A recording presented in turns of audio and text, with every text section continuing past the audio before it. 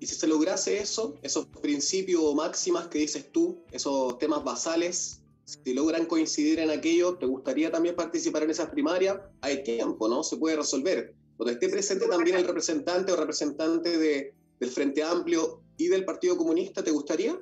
Sin lugar a duda que sí, eh, pero la verdad es que se ve difícil en el escenario que hoy día tenemos cuando vemos a un Partido Comunista y un Frente Amplio que no quieren nada eh, con nosotros y que lo han demostrado una y otra vez en eh, lo que fue la elección, ¿no cierto?, de los gobernadores, en la elección de los municipales, donde simplemente inscribieron sus candidatos y no fueron capaces de acordar con nosotros.